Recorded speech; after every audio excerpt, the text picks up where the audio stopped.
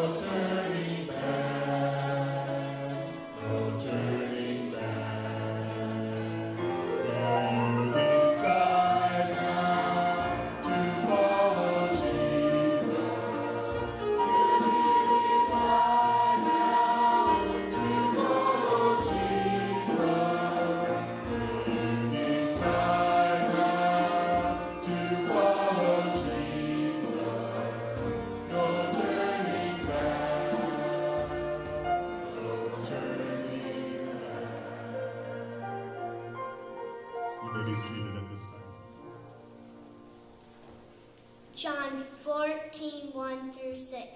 Let not your heart be troubled. Ye believe in God. Believe also in me. In my Father's house are many mansions. If it were not so, I would have told you. I go to prepare a place for you. And if I go and prepare a place for you, I will come again and receive you unto myself, that where I am, there ye may be also.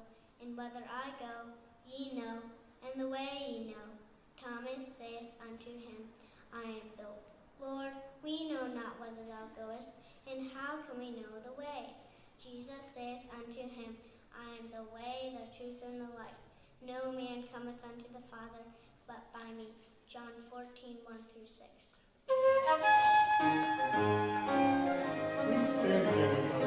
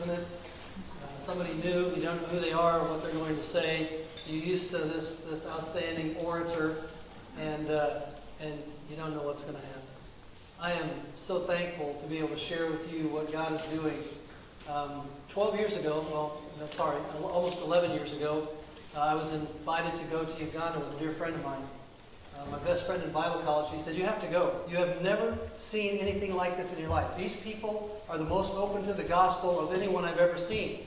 You go to their homes, they're a hospitality culture. They invite you to come and sit down, they welcome you, and then they sit down and they say, Tell us what you have to say. And, and so we're going to share the gospel with them. And, and what I believe is necessary is many of the people in Uganda or like other places, they have heard that they are sinners. They have heard that they need Jesus, but they do not clearly understand the gospel. And because of that, they're confused.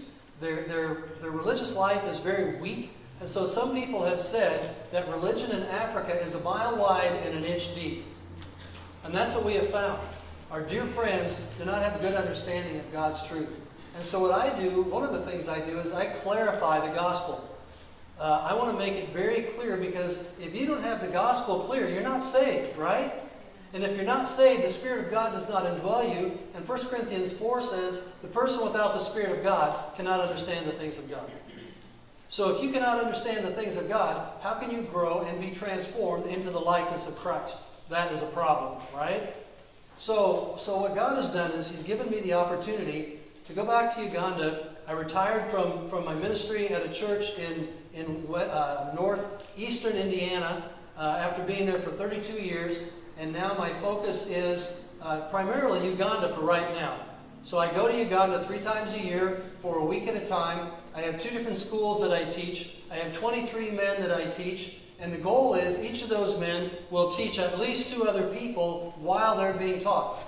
So in theory, right now, we are training over 60 people with the 23 guys that I'm working with. Um, now, time will tell how good of a job that is and, and we're doing and how effective that is. But for now, I'm super excited about these men. They are brilliant.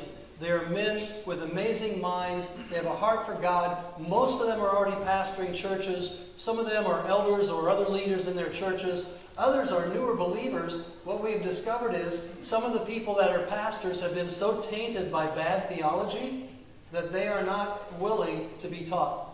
So we have some men that are newer to the faith, but we get to grow them from the ground up. And we're super excited about that. And so as we come together, we are teaching them the Word of God.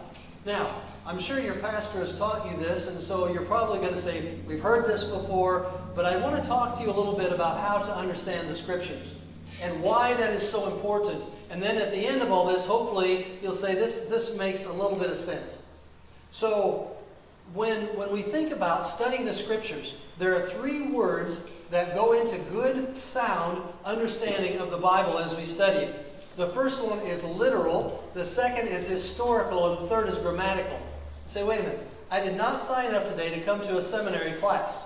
Well, hopefully that's not going to be what you're going to get. But you do need to understand how to study the Word of God. When we say literal, we do not mean that when Jesus says, I am the door, he means that he's a piece of wood. Right? We're talking about the normal way that language is used in life. And in normal language, we use figures of speech, right? And so if I say to you, now where I come from, I'm sorry, but I'm from Nebraska. And that, that's a long way away. And you think, Nebraska, that's a bunch of hicks over there. Guilty as charged. Okay? But when I say I'm bush, I do not mean I'm green leafy twigs that have little, little things that flop around in the wind. What do I mean? I'm tired, right? That's a figure of speech that we use as a normal part of language, right? Normal, literal language is language how people use it in their dialect, in their world, to convey the meaning. When we talk about studying the scriptures literally, we're saying, how did the Hebrew speakers of the Old Testament and the Greek speakers of the New Testament use their language when they used it? Oh, what that means is I have to enter into their world. I have to understand what they meant when they said it, not what I think it means in my day. That's a danger of modern Bible study. Because people today will say, let's get together and let's read a passage and let's all talk about what it means to us. And you're in trouble already. Because what it means to you may not at all be what it meant to them. Because in this process, we understand that people did not write the Bible. People were the means by which God wrote the Bible. So when you read the Bible, you're not reading the Word of man, you're reading the Word of God. And God used those people to communicate His Word exactly the way He wanted it communicated. So when we study the original languages of Hebrew and Greek, we're hearing God speak to us through these words, just the way He wanted it said. And that includes figures of speech because he used them, their thinking, their world, their culture, all these things to communicate truths through the medium of those words. And so, as we study, we're saying, what did it mean to them in their world? And how do we now understand it out of that? That is literal. Now, with that, there's a second word, historical. I'm going to use that last because I want to talk about some history with you this morning. You say, oh no, we've gone from theology class to history class. This is really horrible. Hold on. Let's talk about grammatical. What that means is the words that God used were given exactly the way He wanted them in, in their grammatical structure of Hebrew and Greek. And we can study that because God has gifted people to understand and study those ancient languages and pass on how we can use those and know exactly what they were talking about.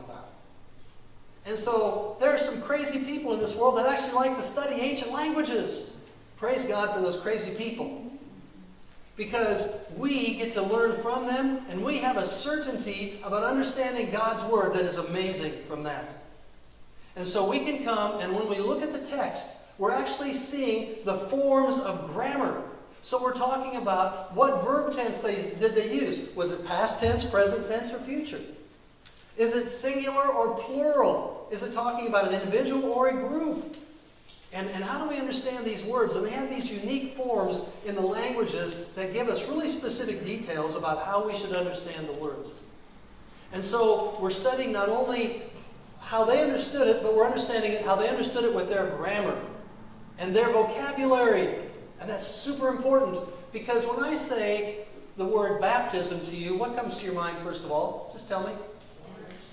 Immersion, water baptism, right? Did you know that that's one of the uses of that in the scriptures, but it's not the only use? There is spirit baptism, there is water baptism, there's a baptism of fire, there's a baptism of John. I say, wait a minute, what about what are all these things? Oh, you need to understand those not only in their proper reference of the people and their language, but you need to understand their context. Because context determines the meaning of every word. Have you ever done that? Where you walk into a room and somebody's talking and you hear them talking and you think you know what they're talking about, but you don't know what they're talking about at all. Have you ever done that? And then if you jump into that conversation, they think you're just crazy because you don't even know what you're talking about because you didn't know what they were talking about. That happens with the Bible. People don't know what they're talking about because they think they know what the Bible's talking about and they don't. That's because they don't know the context. So now, as I teach our students, I have two schools, one in the very western part of Uganda, one in the very eastern part. Have these 23 students, uh, and these guys are amazing, uh, and they're just this incredible gift from God that they have this heart to learn, and they are so able to grasp things. But they have been taught false things for many years. So we are seeking to retrain their thinking, but the retraining is not just trying to make them Americans. That's the last thing I want to do. I do not want to reproduce America in their life. They are Ugandans. They are people with that culture and that heritage. And so what I teach them is the Bible is supra-cultural. It is above culture. And when we come together around the Word of God, it draws us together. I love seeing a blended congregation here. Because we have different, different amounts of melanin in our skin, but we're the same family, right? We have the same mom and dad, Adam and Eve. And just because we got divided at the Tower of Babel, we look a little bit different. But you cut me, I'm going to bleed the same color as you. And so I love being one family with God's people all over the world. And I love seeing it here. And, I, and may God bless you and may that grow and may this be an amazingly strong body of people who are convinced that the Bible is above culture. The issue is not skin, it's sin. Right? And I can prove that to you because in Uganda, everybody has lots of melanin in their skin. They're dark skinned people. But you know what? They fight and they hate each other and they kill each other because they're from the wrong tribe. Or because they're a different economic level, or because you have something I want. I want to take it away from you. Right? That's the problem. It's the heart. Same problem we have. Mm-hmm. So when we talk about this, we need context. And, and context is everything. My dear friends, one of the most confusing books of the Bible to me has been the book of 1 Corinthians. I will tell you that as a young Christian and as a growing Christian, it drove me crazy. Because there's so many things in there that are confusing. And so many things that we hear taught that just don't make sense.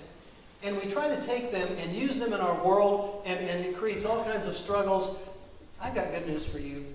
History is an amazing gift when we talk about the book of 1 Corinthians. And so, as I teach my students, I teach them how to study the Bible. And part of this is we study the, the literal use of the words, we study the grammar, we study the history. Today, I want to talk with you just briefly about the history of the city of Corinth. Now, Mike, have you done that? Oh, man. I'm going to be preaching to the choir. Well, maybe I'll give you a few things that Mike hasn't found, and, and I hope that, that uh, he doesn't end up branding me a heretic. but let's see how we do. So Corinth as a city was, was an, an, established Greek city. Because of its rebellion, it was destroyed by the Romans. They came back and rebuilt it around 44, 46, and it was a city that was built in honor of Julius Caesar. This, by the way, 44, 46 BC. All right? By the time of the New Testament church, It was a thriving, large, prosperous city. It was wealthy because it was built between two seas, and they had this overland route that people had to take, and they got charged for it. And so they made lots of money. And of course, you know what happens when there's lots of money in a seaport? All kinds of businesses come, and with that, you get everything from all over the world. And Corinth was a place that was filled with idolatry. There were many different gods that were worshipped. Poseidon was worshipped there. But, but some of the, the key gods and goddesses that were worshipped there, the Roman names and the Greek names were blended together. And so Venus was the Roman name, Aphrodite was the Greek name. The goddess of love. No, not really. She was a goddess of lust. She was a goddess of unbridled lust. She was all about free sex, about doing whatever you wanted. She was a goddess of treachery. The people who followed her were proud of their immorality. And she had a temple, they had a temple dedicated to her up on the hill that had a thousand prostitutes that were called priestesses. And the way this religion worked was the men who, who were supposedly involved in this went to the priestesses, and the way they got rid of their sins was through sex. You know what, my friends? I will tell you virtually every false religion in the world, and especially idolatry, always finds a way to connect its worship to sexuality. Almost consistently all through the world. And so this was a huge thing in Corinth. And, and when we think about her son, Venus, Aphrodite had a son. He was named Dionysius in the Greek world and Bacchus in the Roman world. Have you heard of that before? The, the Bacchae cult was also a cult of, of excitement and ecstasy. Bacchus was the god of wine. He was the god of wine. Bacchus and, and, and Aphrodite both were worshipped heavily by women. So, why was that such a big deal? Well, let's talk more about history. The history of Corinth and, and of that time in the Greek and the Roman world had some very interesting things that they thought about women and the way women and men's relationships should be conducted. And so, in their world, when a woman was married, she basically got locked in at home. Her husband did not really talk to her. She did not have educational opportunities. She did not have spiritually enriching opportunities. They didn't talk hardly at all. Her only purpose was to have a legal heir for the husband. So a man could have, have uh, offspring, but he only had a legal son if he adopted the person. Say, wait a minute, your own kids? It was a legal process whereby you went to the magistrates and you said, I'm making this person my legal heir. This is so important when we talk about being adopted as God's children, my friends. Because what it says is, God chose to make you his legal heirs at the moment you placed your faith in Christ. He said, You're mine, you're going to get my inheritance. Oh, that is so important, isn't it? That's, that's history, my friends. That's history and how it dovetails with the Bible. And you need to know that because it encourages you in your faith, right? Good stuff. So, so this woman, unfortunately, is locked in at home, and, and actually, men had this, this disdain for their wives many times. They, they feared women. They, they had uh, this, this disdain for women, especially as they aged. Some of their poets and it's just gross stuff. I'm sorry, but this is Corinth, okay? Some of their poets praised homosexuality as one of the highest virtues. As a matter of fact, the male poets, some of them said that it was a, a, a crime, a, a shame, that God made it necessary for men to have sex with women to have children because sex with men and boys in particular was so much more preferable. This is a gross world, right? Say, man, this sounds like our world. We're coming to that. We're coming to that. In this world, the men left their wives at home. They went out and they had relationships, both intellectual and physical, with these, these courtesans, these women who were professional prostitutes, some of them from the Temple of Aphrodite. They were intelligent, they were educated, they owned their own homes, their own property, and they made a lot of money from what they did. And so the men had their wives for legal offspring, and they had these, these, these mistresses for fun and for, and for, for inter interaction. Now listen, when we start thinking about this, there's so much of this we don't have time to talk about, But this is in, so heavily involved in the book of 1 Corinthians because in 1 Corinthians 14 it says that the women are not to speak out in church, but they're to talk to their husbands at home. Do you realize that was a massive upgrade for them? Because, first of all, it said the women are actually allowed at church, number one. Number two, they actually are going to have interaction with their husband. And number three, they're going to talk about spiritual things. That was a huge upgrade for them. It was a massive upswing that Christianity brought into their pagan world.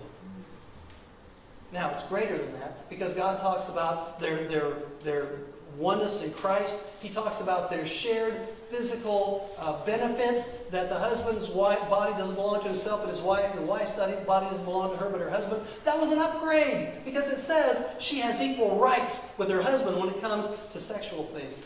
And that means both of them should practice fidelity to one another. That was not common in their world at all.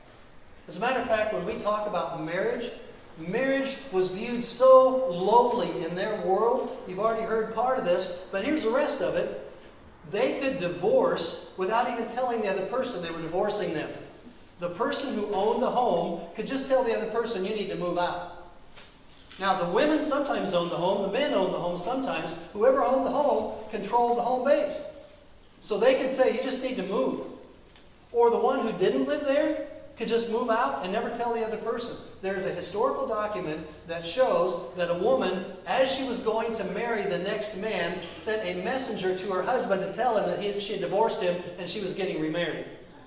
Say, that is awful. Yes, it is. They had such a low view of marriage, they didn't even care about those things. But that is a society in which they lived. So now when we think about 1 Corinthians 7, it says that the man, or that, that the woman should not leave her husband, right? And the man should not divorce his wife. Oh, that makes a lot more sense now that I understand the history. That's why we study the history, and it opens our eyes up to the meaning of the text. When we talk about all the issues of of homosexuality, when we talk about marriage and divorce, it's all a part of the package. The, the goddesses and the gods encourage people in their homosexuality, in their, in their sexual prom- promiscuity, in the orgies. It was all a part of their thinking. That is where the gospel went. Now, we talk about religion, the common practice with some of these religions, both with Aphrodite and with Bacchus or with Dionysius, is that they encourage women to, to take on masculine characteristics. As time went on, the goddess Venus or Aphrodite and the god Bacchus or Dionysius became blurred in, in how they actually appeared. The statues of them and the paintings of them start showing the feminine Venus with a beard and wearing men's armor. And Bacchus started becoming softer. He started having longer hair and wearing women's clothes.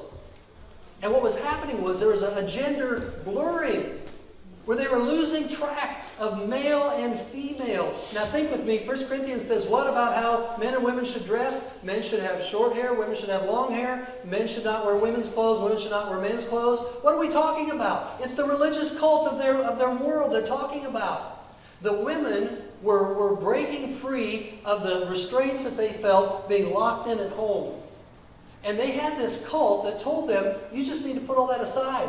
You need to break free. You need to practice what you want in your own enjoyment of sexuality. You need to get away from all that masculine domination, and you need to get out and you need to rule. And my friends, guess what? Equality was not the goal, just like it's not the goal of feminism today. Now, I'm sorry if, if, if you think that women's empowerment is about equality, my dear friends. History says women's empowerment is about domination. And that's exactly what they wanted to do. And so they, they're, they're heroes. There was a king, as, as reported, that wanted to find out what the, the women were doing when they were worshiping Bacchus because it was this closed off thing. Men could not get in. So he dressed like a woman and climbed up in a tree so he could check it out, and they caught him. And the story goes this is supposedly myth, but the story goes that when they caught him, they pulled him out of the tree and they tore him apart limb from limb. And that was a story that the women praised their, their vengeance, their violence, their strength. As a matter of fact, some of these women were known as the Amazons. Have you heard of that before? Not Amazon Prime. We're talking about the Amazons. These are women warriors. Some of them, it is reported that they went with Alexander the Great into battle as a whole group of women warriors. They were ferocious. It's all a part of the cult. In this, when we look specifically at, at Venus, she just encouraged outright orgies and just all kinds of gross sexual sin. But Bacchus was, was known in a different way. The worship of Bacchus had two primary concepts that they, they, they praised. The first one was ecstasy. And in this ecstasy, they, in their worship, they used alcohol, they used music, they used loud shouting, and the goal was to get whipped into a frenzy. Enthusiasm. And when they got to the height of this frenzy, they believed that they rose up and they made contact with their god, Bacchus. And when they did that, they achieved what they called enthusiasm. So ecstasy led to enthusiasm. Now, guess what? How did they know that they actually made it? And the answer is when they hit enthusiasm, they believed that Bacchus took over their mind, and when he took over their mind, he took over their mouth, and they began to talk in words nobody could understand. Do you understand that? My friends, that's tongues in the world's perspective. Not a biblical perspective on tongues, but a secular minded perspective on what was called today tongues. And so, think about this. In their world, that was the ultimate. That was what you wanted. Now think about the church in Corinth. We have three chapters chapter 12, 13, and 14 devoted to spiritual gifts. And the primary reason that that passage is devoted there is because they were believing and they were practicing old thinking about spiritual gifts and their relationship to the gods. And they had taken that pagan concept and they saw biblical tongues, which is speaking in a language you've never understood before about the truths of God, but they were understandable as long as there was a translator, an interpreter, right? And, and they took that and they corrupted it. And they brought that into the church. And guess who the primary people were who were using it? It was women. Because they had come out of the old stuff, they brought it with them, it was still there. That's history, my friends. That is actual historical reality. And so now we begin to understand why 1 Corinthians 12, 13, and 14 says what it does about the superiority over preaching rather than tongues. It's called prophecy, but it's not prophecy in the way we think. It's, it's, a, it's a declaration of the Word of God to people. And 1 Corinthians 14 shows us that. Think with me. Remember what it says? when you gather together, and, and someone who comes into your midst from the outside who is, is untaught or untrained, unlearned, and they hear you all speaking in tongues, what are they going to say about you? You are out of your minds. Right?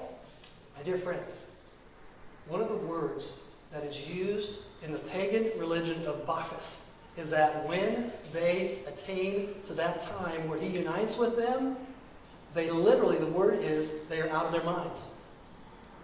They've lost control and he takes control. And they believe that you enter a state that is somewhat like a drug induced state or drunkenness. You understand current climate we live in. I am sitting in a hotel in Uganda listening to a young couple talking. They are from a group of people here in the U.S. that, that believes that all the gifts are still functioning. And they're talking about the fact that they were with this group of people and they were so excited. Why? Because they were drunk in the Spirit. They were drunk in the Spirit. They were out of control. And they said, this is it. This is the pinnacle. This is the top. They've reached it. So, our dear friends, both here and there, are taught that you know that you're truly saved if you do what? You speak in tongues. But here's the problem with that that's not biblical. 1 Corinthians chapter 12 gives us this. And so, turn to 1 Corinthians 12. Let me show you this. This is just super important. This is free, no charge.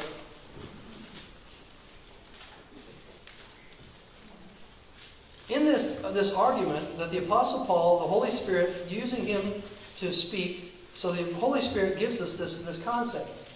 He's talking about this problem of how people think about the body. And we don't understand the unity of the body. We are one body with one head, and every part matters. We can't cut ourselves off from each other and be the body of Christ like God intends. And we can't say, I don't need you. I'm more important than you. And we can't say, oh, I want to be like that person because they've got a really important gift. I don't want to be this. I want to be the eyes. I don't want to be a little toe. Your body needs little toes, I promise. Just like it needs your thumb, right? Try working without an opposing thumb. It doesn't work very well. You need thumbs in the body. You don't need all eyes and ears and noses. But if you don't have the whole thing, it doesn't work right. That's what he's saying. And so when we think about the body, we know that the entire body is different and we all have our own part, right? So listen to this. He now comes to the whole concept of spiritual gifts. And so he says in verse 27, 1 Corinthians 12 27, Now you are Christ's body and individually members of it. And God has appointed in the church first apostles, second prophets, third teachers, then miracles, then gifts of healing, helps, administrations, various kinds of tongues. All are not apostles, are they? Stop. Verse 29. In the Greek language, this is fun with language, this is grammar, all right? When God gave the Greek language and He worked in them so they put it all together, there are certain ways that you say things in the Greek language that tell you what kind of an answer is expected. So there's a certain way you say something, ask a question, and by grammar it shows the expected answer is yes. There are other ways that when you use the form, the expected answer is no. My dear friends, every one of these questions is written grammatically with the expected answer of no. Now, this should make sense, right?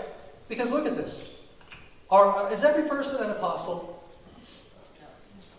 No. No, we know that. How many apostles are there? Well, 12 or 13, depending on what you do with Judas and, and Matthias and, and Paul, right? But not every person is an apostle. Are all prophets? Does everybody speak the word of God? No. Are all teachers? No. Are all workers of miracles even in that day when they were happening? No. Do all have gifts of healing? No. Do all speak in tongues? What's the expected answer? No.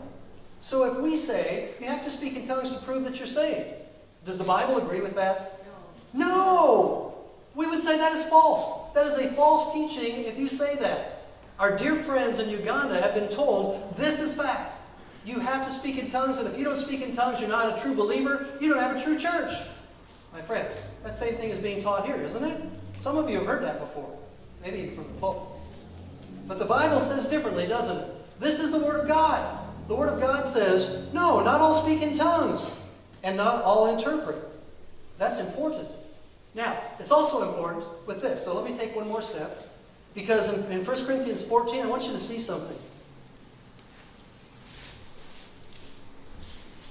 When we come to uh, the, the issue of prophecy in tongues, you just need to read through this whole thing in one sitting 12, 13, and 14. But, but listen to what this says.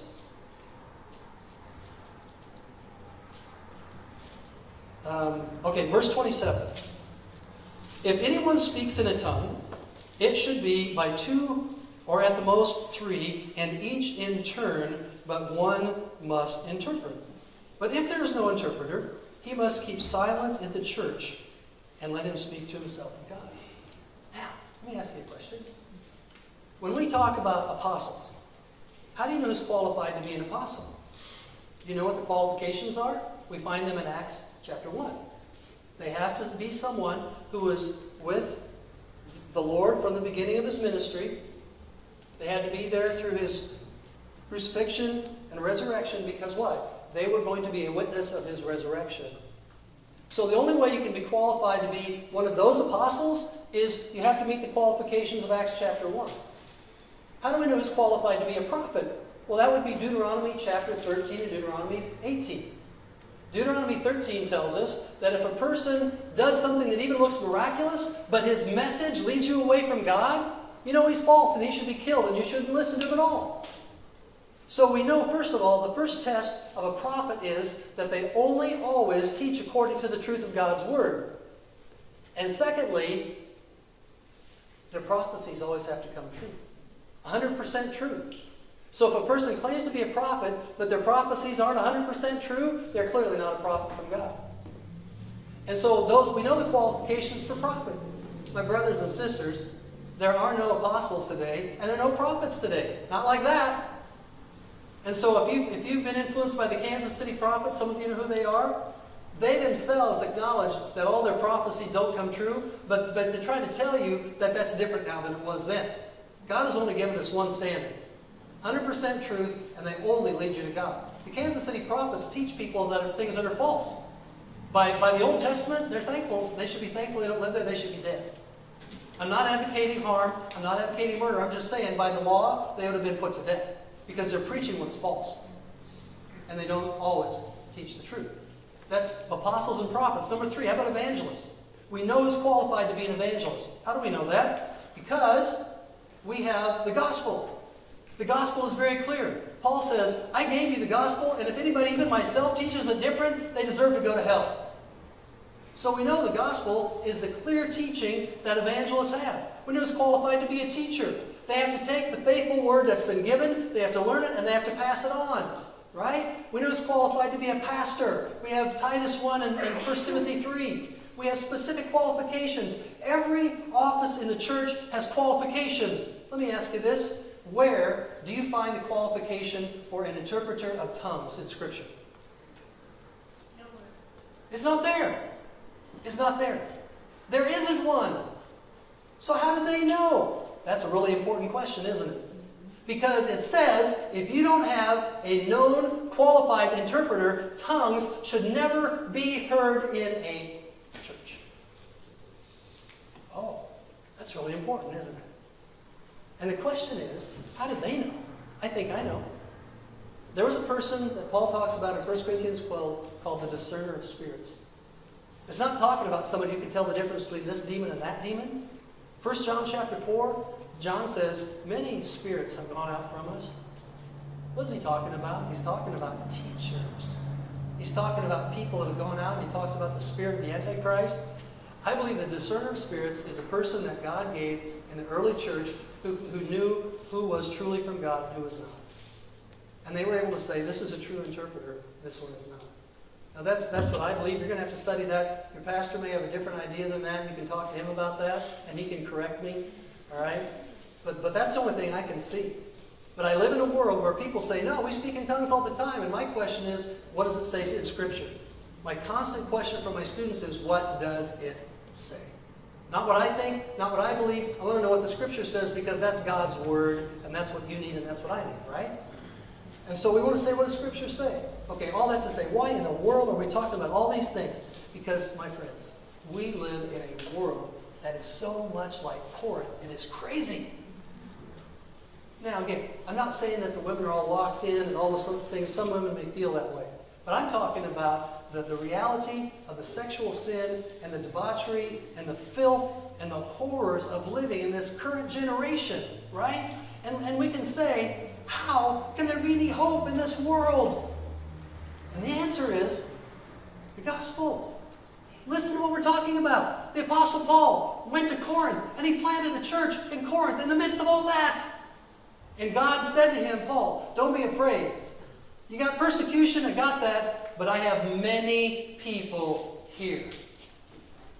Oh, that's exciting. God has a plan to save people. Corinth was a messed up place. And it was a messed up church when they started. You know what? That's good news for me because I was a messed up guy. How about you? Were you messed up? Are there people around you that were messed up? Check this out 1 Corinthians chapter 6. Are you ready? Starting in verse 9. In the context of people taking each other to court, believers suing each other. He says in verse 9, Or do you not know that the unrighteous will not inherit the kingdom of God? Do not be deceived. Neither fornicators, that's people who commit all kinds of sexual sin, nor idolaters, nor adulterers. By the way, idolaters, people who worship anything other than God, that could be ourselves. We're all idolaters, my friends. Don't, don't pass it off as saying, I don't worship a thing of stone or metal or whatever. No, no, no. We idolize ourselves more than anything else. In our flesh, we're all idolaters, right? Nor idolaters, nor uh, the adulterers. What's that? People who commit sin, uh, commit sexual sin while they're married, right? Uh, or nor effeminate, nor homosexuals. Say, what is that? Well, the word is very specific. The word for effeminate is the word malakos, it means salt. It is the person in a homosexual relationship that carries out the female role. And typically, it's the person who allows themselves to be used by another person of the same sex. The second word is the arsenokoites. That's the person who is the aggressive male figure who abuses and uses the other person. God says both of them are part of this group that will not inherit the kingdom of God. Uh, nor thieves, people who take what's not theirs, nor the covetous, uh, people who have a desire for more things, more and more and more, and they pursue getting that. Uh, drunkards, yes, it's not a disease, my friends. It's a command God gives us. It means it's a choice of the will to get drunk. You may get hooked, but you made choices to get there. It's called sin, and it has to be overcome by the grace of God, right? Nor swindlers, people who cheat others out of, out of money and things, will inherit the kingdom of God. You say, What? There's no hope for any of us. Who's not guilty of some of that? Oh, but wait, there is hope. Listen, next verse, verse 11. Such were grammar is were present tense, future tense, or past tense? Past tense. Praise God. Did you hear that? Mm-hmm. You were that. That's who you used to be. That's what you used to do that revealed who you were. But you're not that anymore.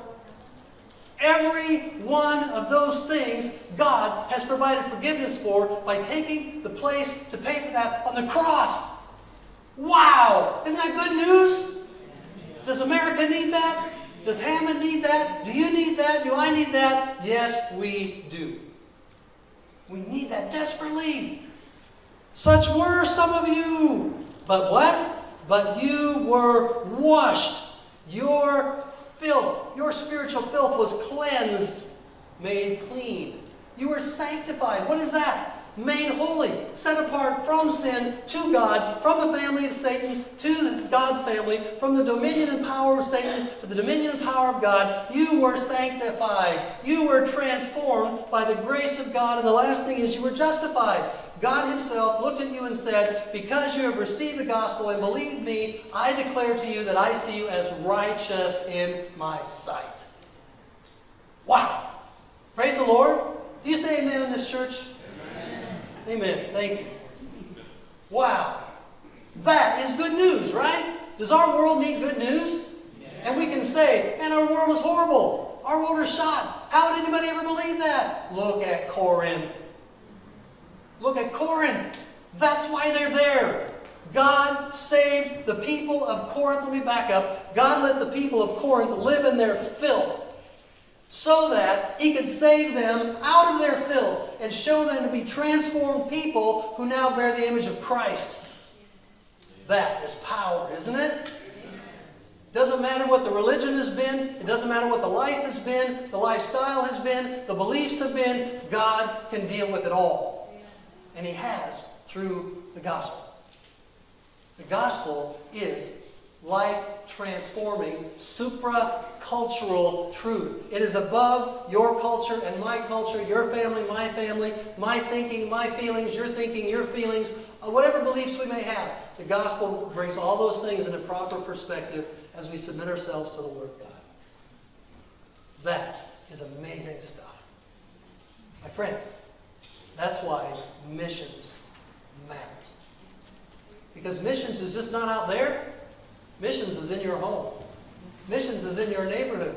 Missions is at your work. Missions is at the grocery store. My friends, I'll talk about this later. Missions is how you drive and how you conduct your business with your friends and the people you work with.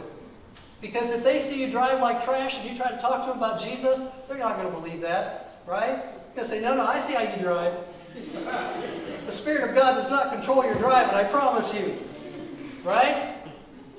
Oh, this is life changing, life transforming truth for the whole world, no matter how bad, how how wicked, what their past is, what their religions are, what their beliefs are. All of it changes when they come to understand the gospel. So, can I just say to you real quickly, there's something you need to know. Number one, God is perfect in his righteousness.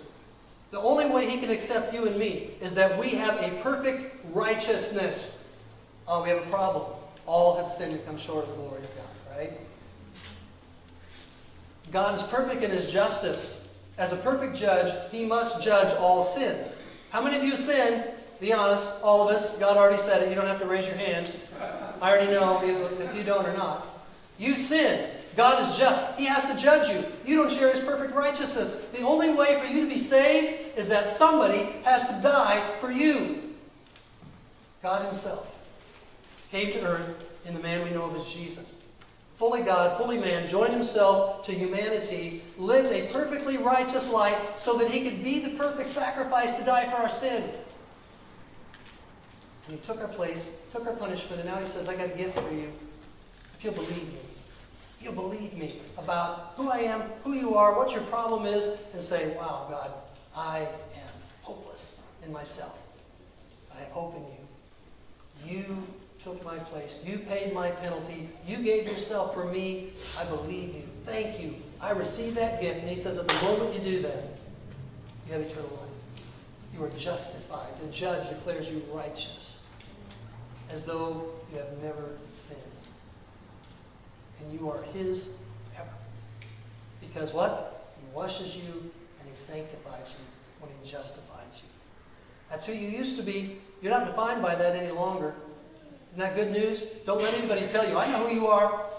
You say, no, you know who I used to be. You don't know who I am. God is transforming me so that I can be who he made me to be in Christ. That's who I am. I am in Christ. I'm a new creation, right? If anyone's in Christ, he's a new creation. Old things have passed away. Behold, everything has become new. You are a new creation. Don't ever let go of that. And your past will never define you again because you are no longer living in the past. You're living in Christ, and you have a new hope in Him because you're seated at the right hand of the Father in Christ in the heavenly places, and you will forever be that. That's good news. Changes life. That's what we're about. That's what I do. I teach my students those things. I seek to pass that on to them so they can pass it on to their people so they can be transformed. God is transforming our students. He's transforming the community. In the Tororo district where we work in the east of Uganda, there used to be, when I started, about 500,000 people. The main pastor I worked with told me, he said, Pastor, after about six or seven years, fully a quarter of the people of our, of our, our district have been affected by your teaching, Father. That's not me. That's God. God's taking His Word, using it through the pastors I'm teaching. They're taking the message. God is changing things. We talked about the gospel one day, and a man said, I have not heard that message for 30 years. My friends, he was a leader of a church group. 30 years since he heard the gospel clearly. We have to change that. Right? So I'd encourage you, be people who have the gospel clear and who have the hope of the gospel that no one is outside of the reach of God's power and His truth through what Jesus has done. That is mission, right? No matter where we go. Brother?